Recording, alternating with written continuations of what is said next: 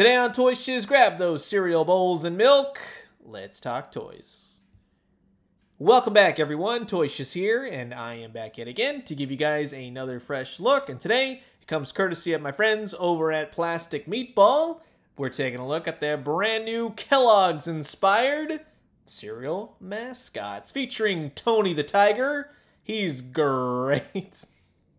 That's how this video is going to go. But you can see, yes, very Kellogg's inspired in that more 4 inch, 3 and 3 quarter inch sort of style, much like the new Marvel 375s, right? You got Storm meets Tony the Tiger. And on the back side, you get a nice photo of all the figures and something I really like because that's what you would find on a cereal box, a little milk maze. So you can help Tony the Tiger find some milk for the cereal. And then we're going to follow our nose over to Toucan Sam. He's got his own action figure as well. Really nice bright colors. Although Toucan Sam, a little shading around his eyes. Look a little haggard right there.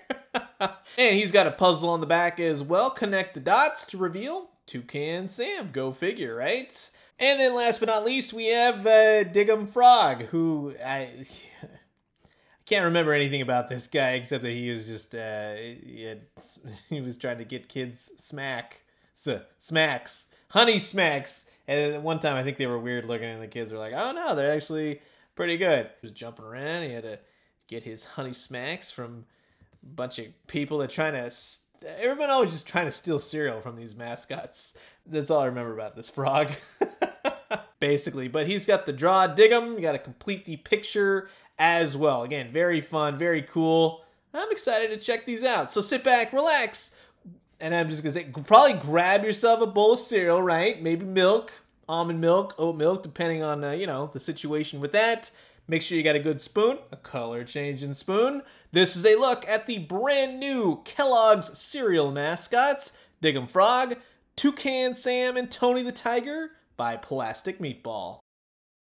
And of course, here's all them cereal mascots taken out of the packaging and nice bright colors and not necessarily characters that you would expect to see action figures of, but it's surprisingly refreshing at the same time. Kicking it off with Dig 'Em Frog. Again, nice bright colors. It says Dig 'Em, nice lettering, nicely done. It's got peg holes on the bottom of the feet. In fact, all of these characters do. So if you need a stand for him, you can definitely do that. He's got his little hat. He's got some reds. He's got some oranges. The greens, little frog freckles right there. He'll twist at the head, and then his arms will go up and down, and then his legs as well. So again, very simplistic articulation, but done in more of that three and three quarter inch old fashioned articulation, much like Toucan Sam, which he's one of my favorites to be honest. If all these cereals, I'm a Froot Loops guy. if I have to eat them. Truth be told, I mean, I'm Captain Crunch with Crunch Berries, but yeah, different company, right? We can't uh, be discussing that. But he's very cool looking, and I love the colors on this guy. He's got a pointing hand right here. This side, I understand it's how a bird would tuck his hand, right? Okay, I get that. But translating it wise, it looks like his hand's all broken. You know what I mean? I get it, but at the same time, in the plastic sense, it just kind of looks like he's injured. You know what I mean? Like, oh man, those kids were too rough taking my Froot Loops or whatever. But I really like the colors on his beak. That really stands out. Large beak on this guy. The feet will actually articulate, so that's cool. The arms, the head. Yeah, it's pretty well done. Toucan Sam. And then finally, Tony the Tiger. He's the largest. And he's got some nice oranges, stripes. His Tony right there on his red bandana again peg holes on the bottom of the feet with the uh, plastic meatball logo. I definitely like that little touch right there. He's got a tail that articulates. He's actually a little bit lighter orange than the camera is picking up so he is spot on the face. The face is nice right? All these characters look exactly like what they're supposed to look at but the white paint for his face is a little bit muddled kind of muddles with some of the black and the blue paint so it's not expertly it's not as crisp as I would hope. But the head, the arms will go up and down and turn around, and then you can move his legs as well. And he's got some tail articulation, so that is pretty cool. Overall, I'm happy with these. These are actually a lot of fun. They'll make for some great photography coming soon, that's for sure. But if you think about it in terms of scalage, I mean, yeah, they're all pretty much in scale. The frog would be the smallest, followed by the bird, followed by the giant man-eating, I mean, cereal-eating tiger. And in scalage with Marvel 375s, they're actually, I mean, let's say Tony the Tiger, he's the tallest one, but they're all out of a scale with, say, like humans and stuff. You'd expect these characters to be smaller, like with the Super 7 reaction Turtles figures.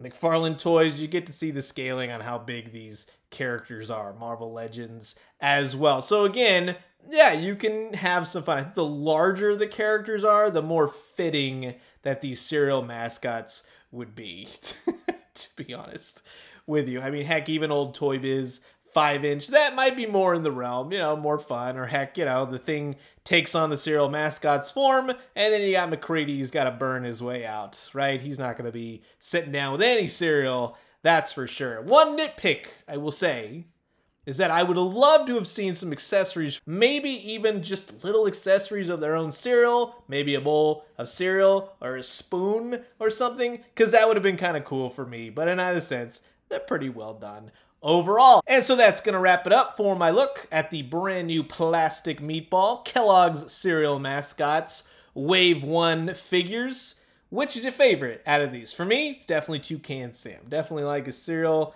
Honey Smacks, yeah, those were good. I remember those back in the day. Frosted Flakes goes either way. I'd rather much have Frosted Mini Wheats. But in terms of toys, I think they're really well done. I think they're a lot of fun. And you can grab these on the plasticmeatball.com site. I'll put a link in the description below. And I do think that they're reasonably priced. For this type of character cereal mascot, it's going to apply for a certain type of collector where I think this would be right up their alley. So I would say, yeah, I think you'll definitely be stoked, especially with the whole retro vibe this gives off. It's very cool. In fact, this is something years ago I would have totally expected to find at the bottom of my cereal box, right? But I am curious to know what you guys think. Comment below, let me know. Let's talk everything cereal mascots and cereal. What's your favorite cereal to have every morning? And thank you again to Plastic Meatball for sending these over to give you guys this fresh look. And I'm going to leave you guys with that. As always, drink some great coffee, eat some great food, but most importantly, remember, uh, yeah, I did go and do all the puzzles on the back, of course. Who do you think I am, right? Look at I got Tony his milk. Boom, he's got his milk. And I uh, figured out, yes, this was, in fact, Toucan Sam. Drew him pretty good. Uh, Dig 'Em Frog, though, however, Eh, yeah, he's seen better days. and when you do, let me know what you found. I'll talk to you guys soon. Adios.